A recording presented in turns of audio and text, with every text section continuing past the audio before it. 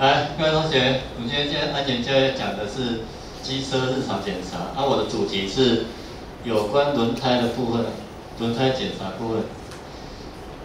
然后呢，主要目标呢，了解机车轮胎对行驶安全的影响，加强安全意识跟意义这方面，还有探究轮胎的工作情形以及怎么检查，然后怎么去建立检查能力跟实践安全这个。然后主要学习重点是了解轮胎对行驶安全影响跟工作情形，重点是回去怎么检查你的轮胎，这是我们重点。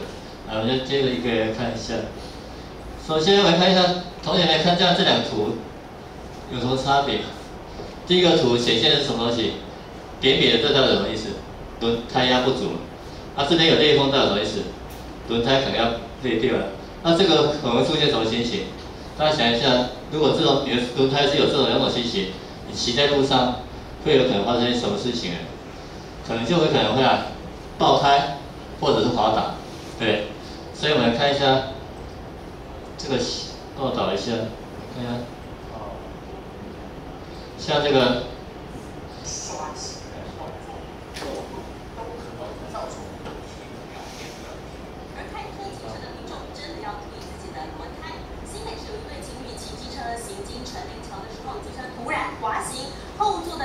摔伤不治，而警方发现呢，这个机车的车胎都磨平了，完全没有胎纹，才有可能，才有才是这个肇事的主因。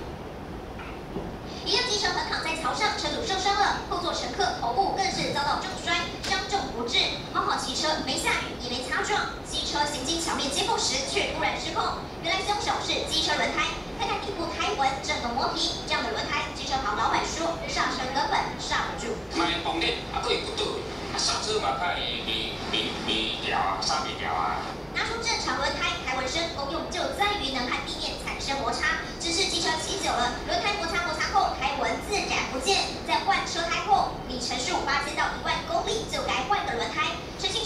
两个月前有换过轮胎，那是工作的关系，得常骑车，轮胎皮耗损的比较快。虽然自责没有仔细检查，但造成后座女友不幸死亡，女友的家人无法原谅一时的疏忽，让最爱的家人天人永和。记者何木伦新北市报道。来，从这个新闻报道可以发现到，他们车最主要原因在哪里？他的轮胎的胎纹都不见了，都已经磨到皮了。所以我们，它新的轮胎它中间会有个胎胎，它有个胎身工厂。所以我在骑摩托车的时候，如果你胎纹都不见了，就可能像这种情形，滑倒，然后甚至造成死亡。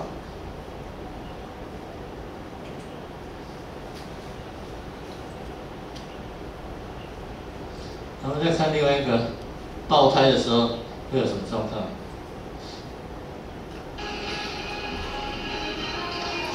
就看这边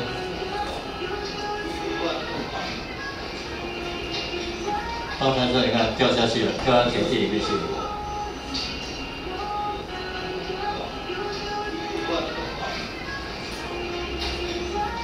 你一爆胎的话，就控制不稳了，可能就倒。好一点倒到那边，它都倒到中间靠车来，就可能被点点到了，所以这非常危险。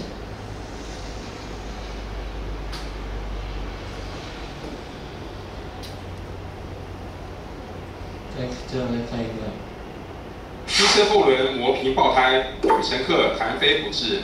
这跟刚刚有点像。这次陈志豪昨天上午发生一起机车死亡车祸，二十五岁男子陈正宏骑机车载二十四岁女友谢新瑞。上班途中，在陈明桥下桥处，后轮突然爆胎，导致机车倾倒，坐在后座的女友当场弹飞出去，全肇事安全帽破裂，左耳后方及头颅血流不止，送医急救后宣告不治。家属赶到医院，难过地哀伤不已。警方初步研判，车祸主因应是机车后轮磨平，突然爆胎所致，确实原因仍待进一步调查。昨天先将死者男友。依过失杀害致死罪移送。共新闻新北报道。而从这几种，从上面这几个新闻报道就会发现到轮胎的重要性在这里。你轮胎不管是有裂痕或者磨平，都可造成爆胎或滑倒，严重的话会上下有死亡车祸。所以我们来看一下，我们所以我们就要研究一下轮胎。首先我们看轮胎的基本构造，从这个我们来看一下轮胎的基本构造什么。轮，你这个出去死。嗨，你好，我是 Eric。前阵子在报废公社上，有人发了一篇奇文啊，说轮胎磨耗后露出纱线，然后一副很震惊的样子，指责车厂。纱线代表胎已经磨了。我只能说啊，真是太屌了，而且还有低级的错字。这篇文出错真的是错的很有层次感啊，刷我三观。看到这种东西，我当然是拿去跟朋友当笑料。但笑完之后，我不禁思考：虽然轮胎这个东西我们每天都在用，但它背后蕴含的技术其实相当深奥。所以对车没有研究的人，以为轮胎的材料是牛仔裤，这可能也是很正常的现象。所以我想大家也不必太苛责这位网友。那么轮胎里的纤维到底是什么呢？今天就跟大家分享现代轮胎的基本构造。不过我要先声明哦，轮胎的种类千百种。每间轮胎厂生产方式也有差异，也都有自己独门的设计，所以我会以非常基本的概念说明，只讲我们生活中最常见的。如果你是资深车迷或卖轮胎的，那你看了大概也不会有什么收获。首先看胎面是轮胎表层的构造，天然橡胶或人造橡胶制成。不过即使是天然橡胶胎面，还是会添加碳烟之类的化学成分，来提升摩擦力与耐用度。刻有胎纹的胎冠是直接与路面摩擦的部分。轮胎的驱动力、牵引力、排水性、制动性能、缓冲减震、转向能力，都跟胎面的材质与胎冠息息相关。连布层是支撑轮胎结构的骨干，你可以想成胎面是肌肉，连布层是骨头。连布层带束层是将强韧的纤维压在橡胶里制成，例如尼龙、人造丝、聚酯纤维、功夫绒、钢丝，将坚韧的连布层层贴合。可以让轮胎承受车辆的重量，也让轮胎承受操架带来的各种压力。连布层的设计也会影响车速、舒适度、油耗表现，也可以提升轮胎抗穿刺能力。胎壁就是轮胎的侧面，因为不接触路面，厚度比胎冠薄很多。不过通常连布层还是会包到胎壁，才能加强轮胎的支撑性。轮胎的规格通常也是标在外侧胎壁上，才能让人一目了然。胎唇是轮胎内缘与轮。圈接触的地方是让轮胎固定在轮圈上的构造。在轮胎打气后，胎唇会紧上。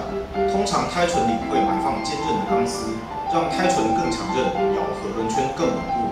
内衬是气密层，是轮胎的底层结构，主要用在无内胎轮胎上，通常会包到胎唇的位置来防止胎压泄漏。轮胎结构有很多种。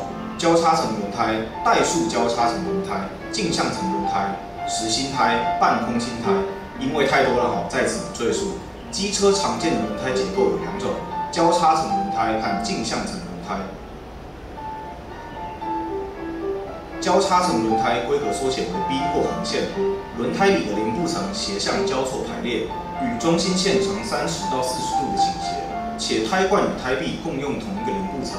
这让交叉胎的荷重能力较佳，且成本较低，胎壁抗穿刺较佳，低速行驶时操控性好。不过交叉胎在高速时的牵引力与操控性较差，散热效能较差，摩擦噪音较大，滚动时的阻力也比较高，油耗表现比较差。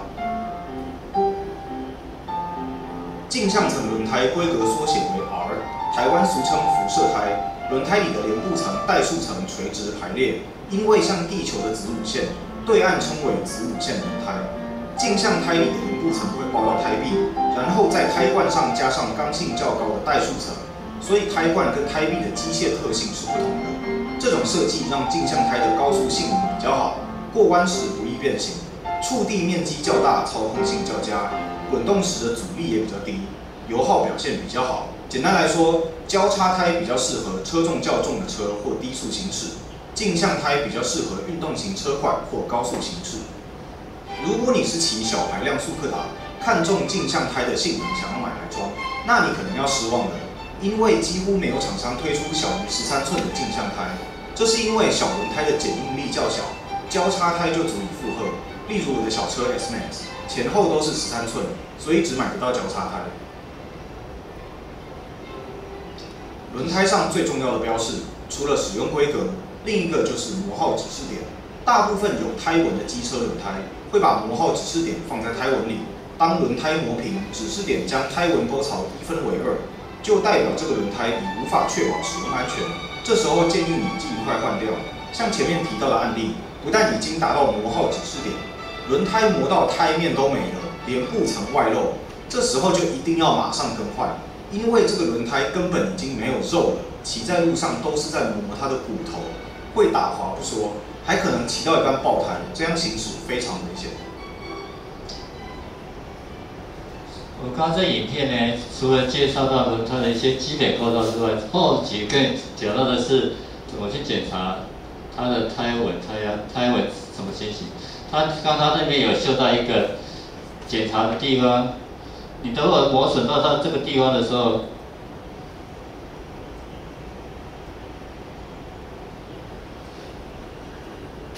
你如果磨损到这个地方不见的话，那代表你的胎稳定太低。是不行了，你必须要换掉，否则会像刚刚新闻报道那个样子，滑倒发生车祸。这个就是磨指示的地方，所以如果当你磨你轮胎磨到到这个地方的时候，代表这这轮胎该换了。这样大家知道吗？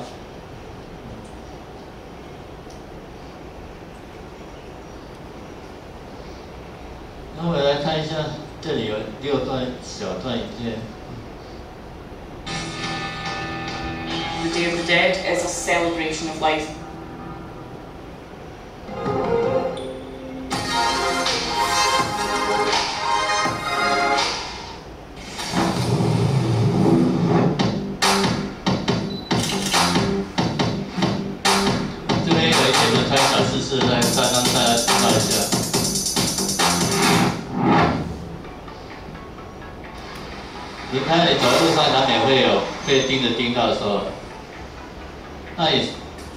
一片现在告诉你什么时候该补胎，什么时候该赶快先去机车行给老板看一下。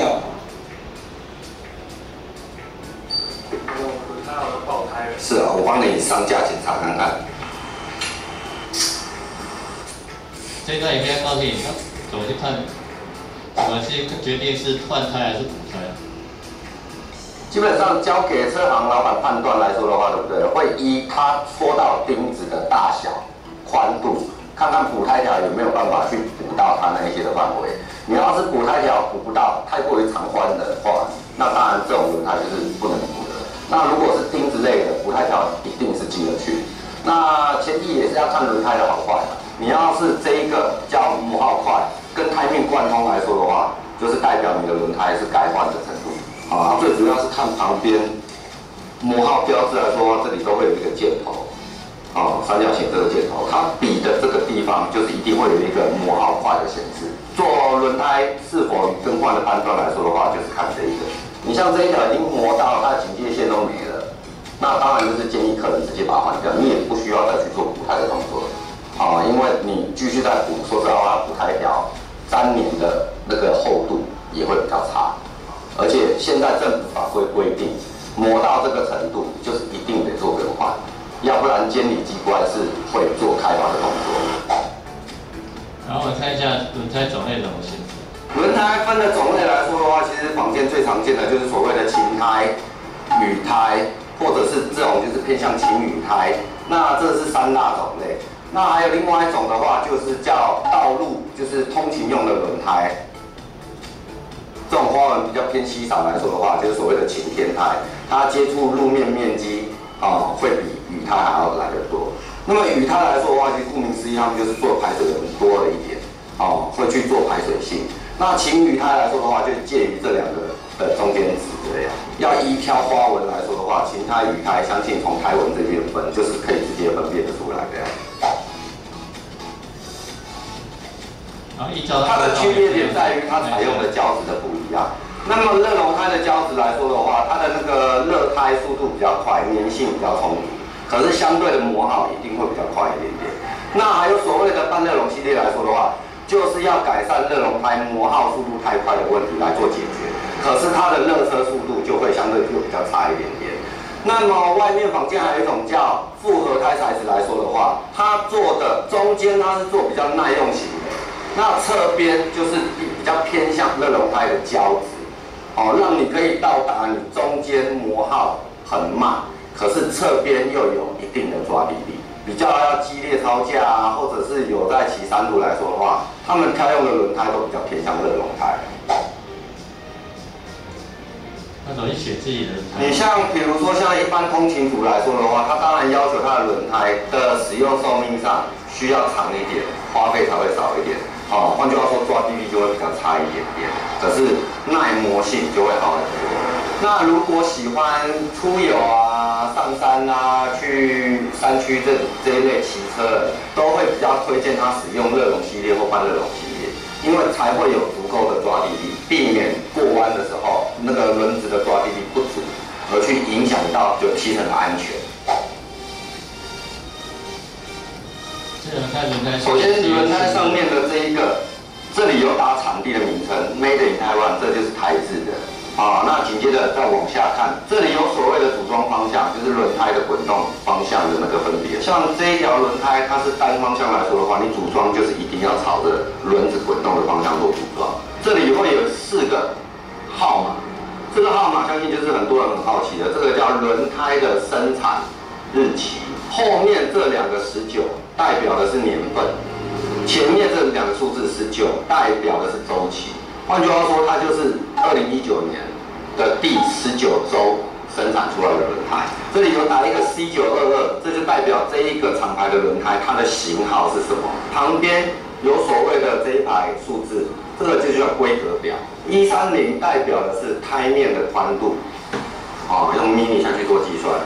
那么七零的部分代表就是轮胎的厚度，十二来说的话，代表是轮胎的尺寸，这个就叫十二寸轮胎。那么轮胎上面有五十一跟 L，它分别代表的是所谓的载重，啊，或者是 L 部分来说的话，代表的是所谓的它可以承受的最高时速的意思。最大速度一百二十 km/h，就是你时速来说的话，它能承受到一百二。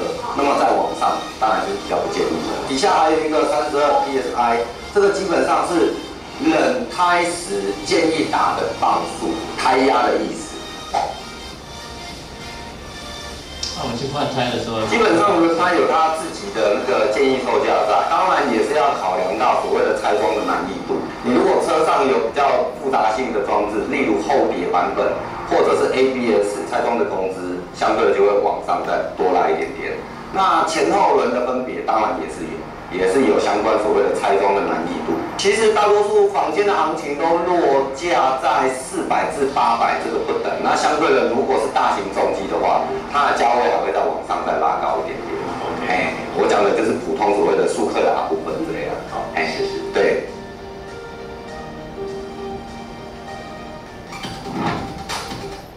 刚刚在这六段影片，我们看到一些有关机车上轮胎的知识了。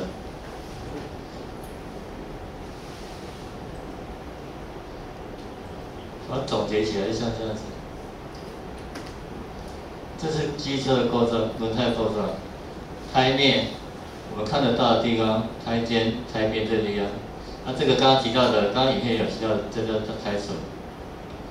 那你看这个车的，刚刚有提到的，这个是它规格表，这个四个数是它制造日期，那这个是胎面宽度、内径、磨耗的指示地方，这个地方三角形，就是告诉你磨耗指示地方。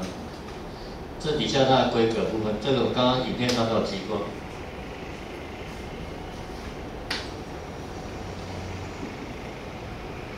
刚刚介绍有关轮胎的一些基基本认识。那轮胎的话，我们必须要定期检查。所以呢，轮胎是橡胶做成的，所以它会产生产生摩擦，然后就会损耗。轮胎的纹路用来排水、增加抓地力，所以这个地方，所以。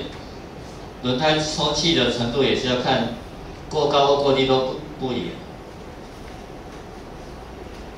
所以我们来看一下轮胎到底定期检查大概哪些项目要检查。第一个胎压，你胎压太高的话，骑起来可能比较容易太接触面会比较小；胎压太低的话，它会扁下去，它可能会骑的时候会晃动。然后再胎纹，胎纹刚刚有刚开始介绍过。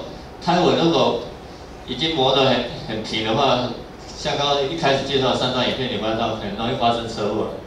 啊，胎纹有被异物吃完，比如说我们常骑在路上被钉子钉到这些，胎面表面磨损裂痕，还有胎轮胎的寿命这些。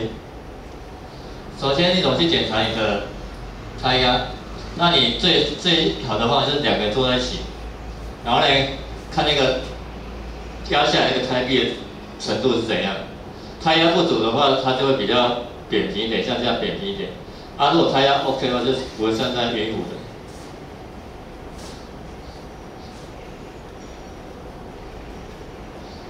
我看一段介绍一下。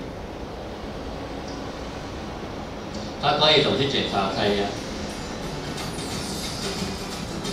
建议原地乘坐两像刚刚画面提到的这样子，两个人坐在一起，然后你看你的轮胎压的程度。观察前轮胎不能有严重变形。像这个就已经胎压不足了，太变变形。观察后轮胎也无严重变形。这个都这个就还好，没有太太。产生严重变形时，应充气或至维修站处置。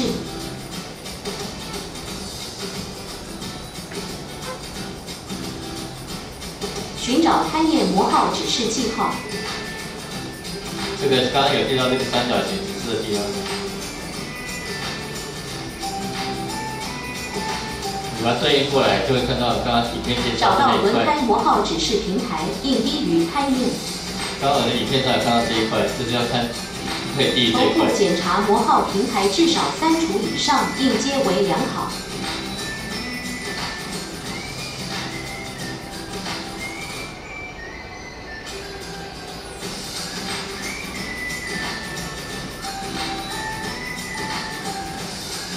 检查胎面两外侧及中间皆无异物及皲裂情形。检查整圈轮胎表面，应接为良好。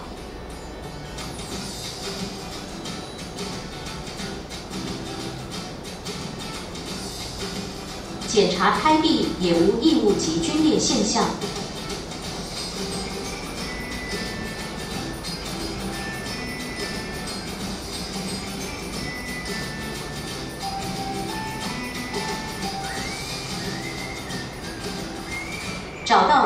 制造时间标示值。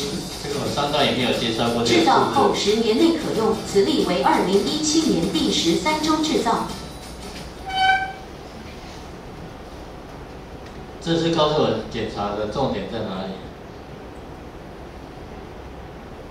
啊，胎压的话，我看一下胎压的部分。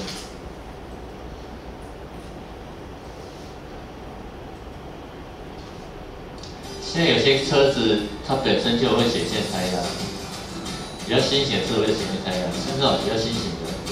使用钥匙开启电源。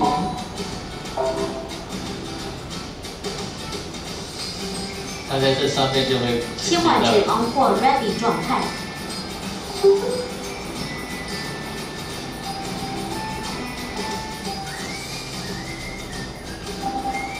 仪表应显示前轮及后轮的胎压值。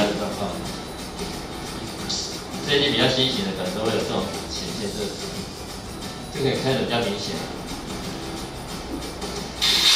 要不然你也可以用胎压计来检查。充气压力与仪表显示胎压值并一致。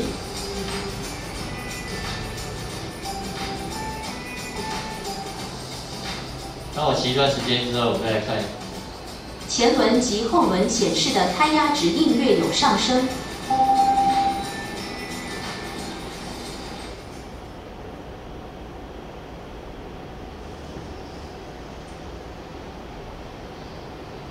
这段影片是告诉我们，有些新型车它会显示本身在面面表上就会显现你的胎压状况。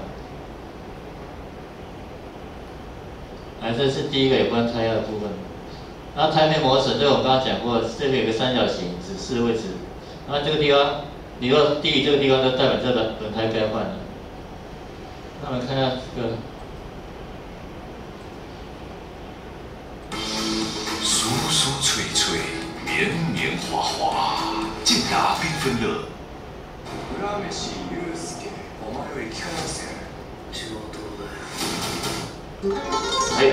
哎，各位小狗的车友们，大家好，我是阿全。那个今天要来跟大家分享，就是你在骑车之前呢，另外一件更重要的事情，那就是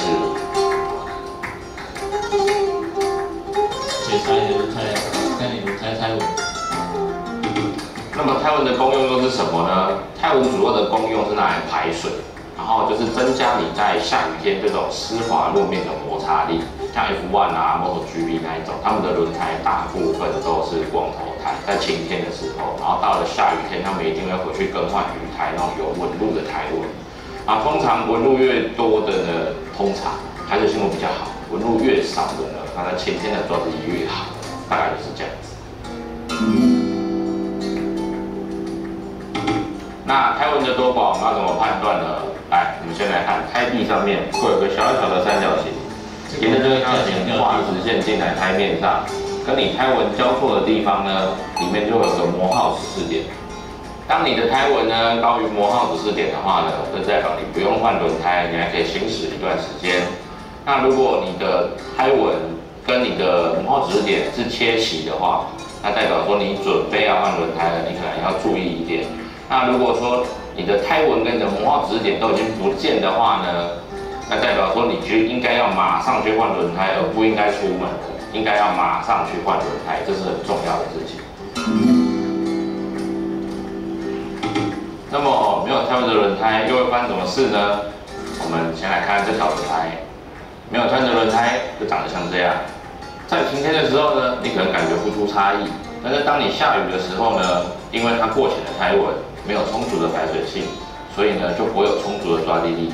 在雨天呢，湿滑路面就很容易发生打滑，这样子是很危险的哦。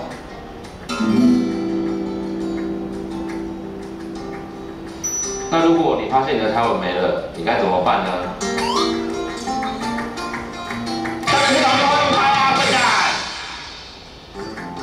这样看胎纹是不是很简单呢？真的很简单。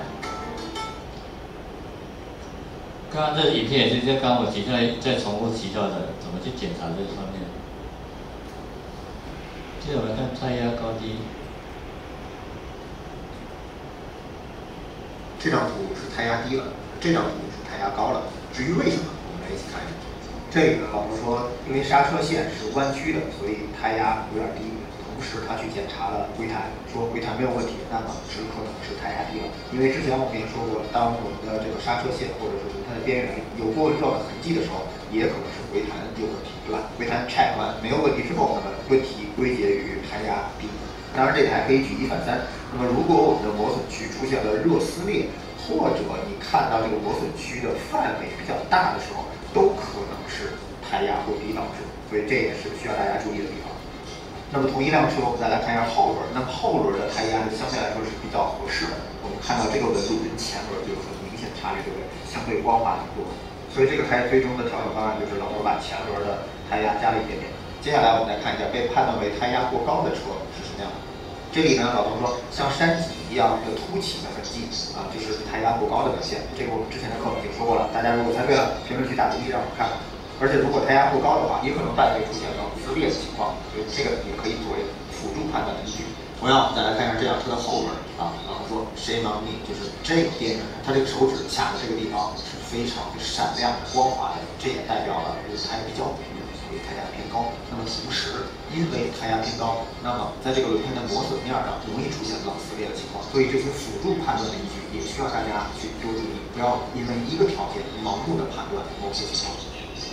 那同理，呢看一下另外一边啊，也是很光滑的磨损区。那么这磨损区的边缘是有一些刚刚融化的开始出来，那么这就代表了胎压比较高，所以要放一点点太阳下去。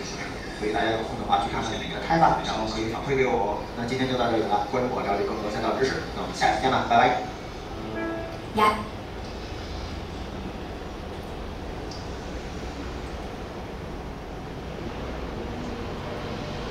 刚刚我也看到了很多段影片都检查有关检查到胎压、它的部分。所以我在检查的时候，像这个你看，看这边有没有指示平台有没有低于它？这是我们刚刚画面上影片上提到的，你不可以低于这个指示平台。然后这边磨耗的程度，你看一下它的，像这个已经有点平了，这不太适合。然后呢，这个你看它有没有被异物吃了？像这边被钉子刺进去的时候，那我们就必须可以的话，如果是在机车行附近的话，我们就直接给机车行来用。啊，如果离机车行远的话，你要判断一下你有没有工具可以把它移除？因为这个拔起来可能漆就漏掉了，可能就不适合洗，可能就要牵到摩托车行去修理。然后呢，看一下我们在检查说，这像这个已经平了，这这是刚刚我很多段影片介绍过，像这种已经已经算是严重磨损，所以这个时候就必须要怎样，送到机制上去换胎了。这个呢，就是我们开始看到的，它已经有皲裂状况的时候，这个我们刚一开始有看到这种情形容易出现什么状况？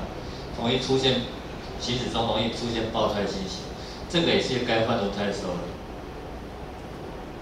然后刚才影片中有提提到这个数字的，像这个一九一五什么意思？后面两个是西元二零一五的制造的，然后这个前面这两个数字代表是第几周？像这个是二零一五第十九周的制造轮胎。那一般轮胎的话，新的话你大概十年内都可以使用，如果没有异常是可以使用的。来，最后就是我们。刚刚从上面介绍之后，我们在做内做检查的时候，有这几个项目，你可以按照这几个项目去做一下检查。第一个，你胎要怎么去检查？就是目视看它有没有明显变形，或者有没有明显变形。胎纹深度，它有没有低于指示平台？它有没有异物侵入？它两轮胎旁边有没有皲裂心形？前面、表面两侧有没有？然后那个轮胎寿命有没有在有没有在那个十年内内？如果超过的话，就该换了。如果轮胎很正常，那年限已经超过的话，就该换了。这个是你在检查依据啊，你可以依照这个回去练习一下，把你家里车子检查看看。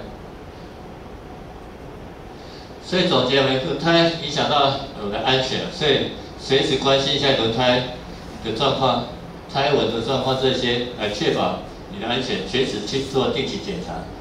啊，今天大概就是这个样子，跟这个先先前几几张影片给你介绍一下轮胎的一些基本状况，然后后面几段影片给你介绍有关怎么去检查轮胎的胎纹、胎压这部分。啊，各位同学们有什么问题？